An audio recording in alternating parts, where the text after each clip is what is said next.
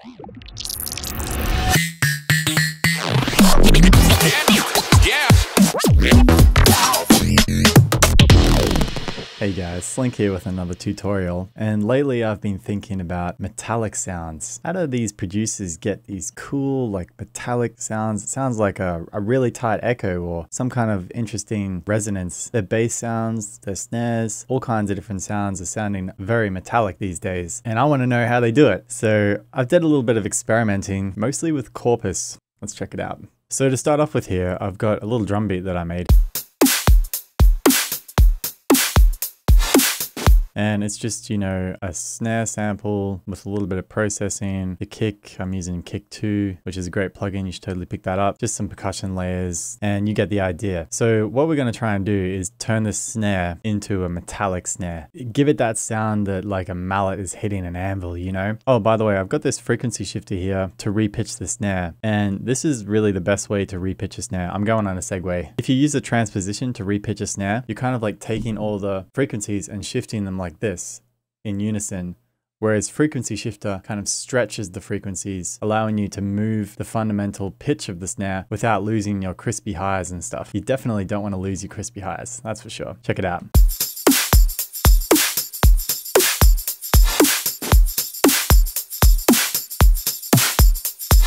Yeah, anyway, I'm going on a tangent. Let's drag in a corpus. We'll put it just after the frequency shifter and before the processing. A lot of you probably haven't even really used corpus before and maybe don't even know what corpus is. So it's basically a virtual resonator that adds physical characteristics to your audio signal. You can kind of think of it like uh, you have a, a virtual object like something in this list here, like a beam or a tube or a plate, and you're kind of like bouncing the audio off of that. So that's really what Corpus does, and it's really, really good at it. So let's take a listen to the snare by itself now.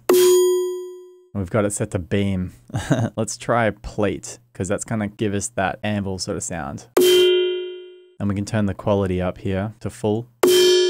And that just adds like more uh, resonant harmonic characteristics. Let's turn the decay down a bit and the material up. As you move the material knob higher, you get more higher frequency resonance. And as you move it down, you get lower frequency resonance. Let's turn the decay up a little bit and the tune down. So we wanted something like that. That sounds pretty sweet. This listening L and listening R is kind of like if you imagine a big square piece of metal and you've got some contact marks on there. You're hitting the snare directly in the center of the piece of metal. You know, where do you want to have your microphones? All the way to the edges or one in the middle, one on the left, that kind of thing. So that's all that does. The hit, it also just sort of changes the way um, you're hearing the resonance. The brightness pretty much does what you would expect, and the Inharm is kind of like a built in frequency shifter as well. So let's turn that up. It kind of like stretches and compresses the uh, resonant harmonics. Uh, it sounded pretty cool up here actually. Let's try moving this hit up. You really just got to experiment with these knobs because it's such an arbitrary description of what they do. I kind of wish there was like a little 3D model of what you're manipulating. I'd love to see an update for this plugin, maybe someday. The spread kind of does what you think it would do as well. It adds like unison, I suppose, and spreads them from the left and right. You'd probably be able to hear it better if I turn the material down.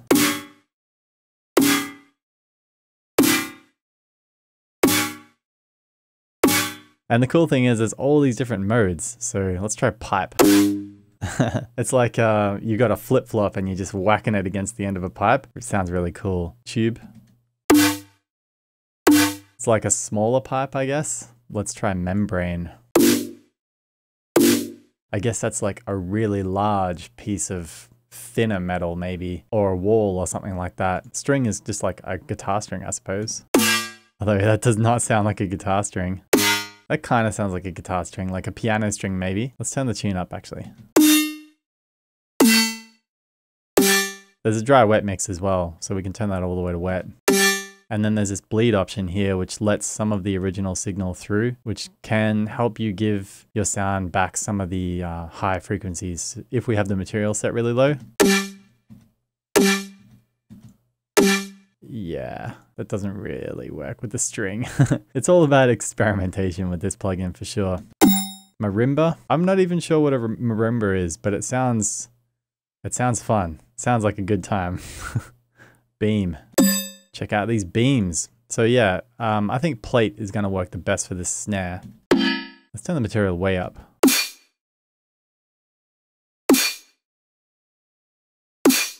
So yeah, that kind of gives you an idea on how this works. The ratio, um, I believe, is the ratio between the length and the width of the, the physical uh, object or virtual physical object that you're um, bouncing the sound off of. So it can be a square or it can be a rectangle or, you know, who knows how that's going to change the sound. I don't know. We got to turn the knob and just see, you know.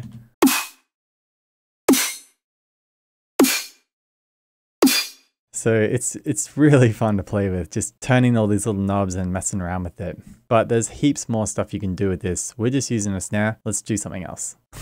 okay, let's do something different with Corpus. And I've recorded this really dumb audio file of me just, well, listen, I, I put a OTT on there, a frequency shifter, and I EQ'd some of the highs out. Take this.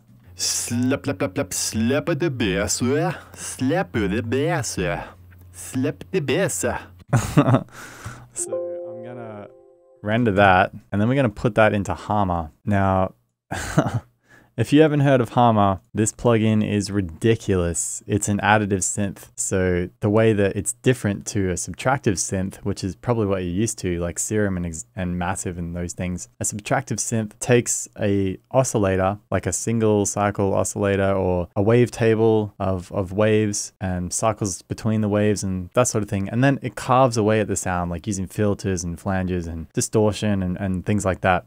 But Harmor, although it looks like it's playing a saw wave right now, we've got the mix turned to the left. It's actually, every single one of these lines is an individual sine wave. They're placed in strategic positions to emulate a saw wave. And if you look, a square wave is the same thing, but every other one. And there's something like 600 sine waves that this plugin can play. What's really interesting about this plugin, and I'm not I'm not an expert on Harmor, it's a very complicated plugin. I'm still trying to get my head around it. But the interesting thing about it is because the synthesizer is playing each individual sine wave on its own, when you do things like filter,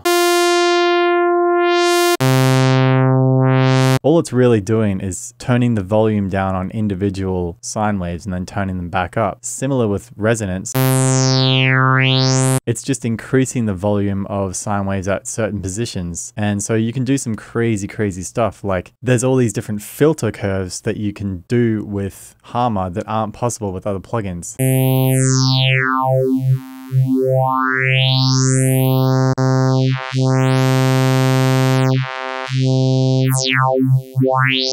Anyway, we're just scratching the surface with, with that stuff. Let me just set this back to how it was. We're going to go over to the advanced tab. I'm not going to spend too much time talking about Harmor because honestly, you should probably just go watch Seamless because he's the expert. But what I really want to be talking about in this tutorial is Corpus. So let's get on with that. So on the image tab, um, if you know anything about Harmor, you know that you can drag samples in and it will resynthesize them. So that sounds exactly like the sample that we had before, except Harmor is resynthesizing this vocal sample using individual sine waves. So this is not a sample, it's a resynthesized version of the same thing, which is ridiculous. So if we turn the scale down, you can see that we start to get remnants of a of a bass sound. I like that bit there. Uh, we can turn the harmonizer up a little bit and we'll just randomize this matrix.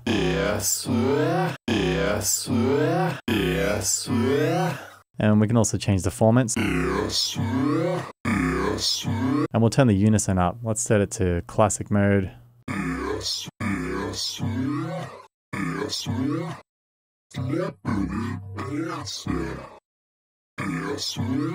Now you might be thinking, damn Slynk, that sounds pretty cool. Just wait, man.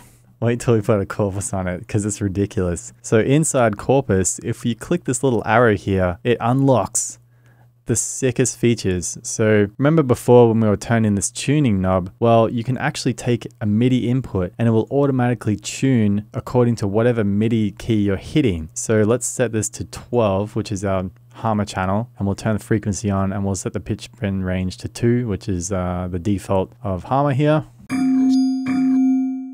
and we'll set it to pipe. Now that's resonating a little bit too high. Let's go down an octave. Let's go down another octave. 24. Let's go down another octave. 36. Oh man. Let's try tube. Oh man, like suddenly it's like Suddenly it's like so much more badass than it was before. It's awesome.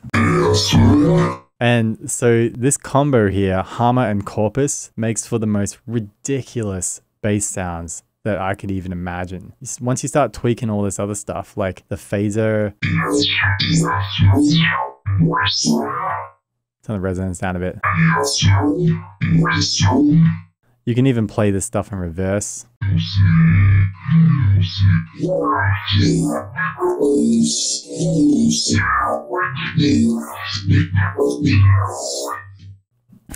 It's just ridiculous, dude. It's so ridiculous. Um, there's also a little distortion. We can add a little distortion to this. And you can see things start to get insane.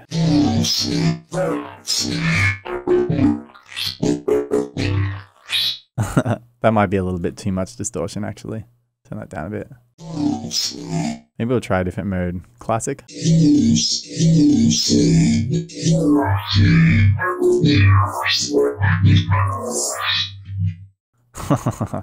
and like you can put anything into this box here. You can put pictures. This is really cool. I got this picture of me DJing a show if you see my backpack there, I was experimenting with this the other day. It sounds really cool. There's my backpack in the corner here. Get some pretty cool metallic sounds like that. So the way the picture situation works in Harmor is anything that's white will be a frequency that's loud. Anything that's dark will be a frequency that's very not loud or off, I suppose.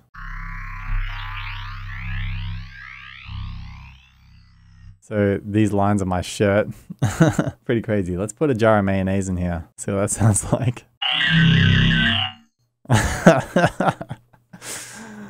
oh man, it's so crazy. So I've I've got all these samples that I've just been um oh man that I've been trying to like screw around with, just put in Harmor coupled with the corpus. It sounds really, really cool. So I made this like neuro sound. Oh no, that, that one, this one, this one.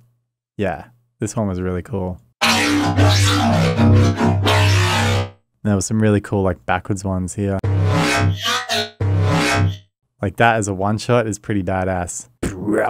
And like without the corpus,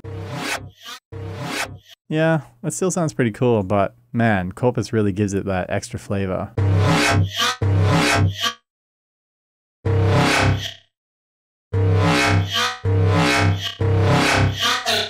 There's so much stuff you can do with this crazy plugin. It's insanity. crazy stuff. Crazy stuff. What a combo. Harmor and Corpus sounds ridiculous. I just kind of stumbled across that trick and wanted to share it. I was dropping audio clips on my Discord server and some of the guys on there were like, what? How are you making this sound? so I wanted to just put together a quick tutorial. Nothing too in-depth. I know I didn't really go through exactly how Corpus works or all the cool things you can do with Harmor, but maybe that's a tutorial for another date. So cool. Thanks for watching. Peace. To the beat cause it won't survive. Yeah.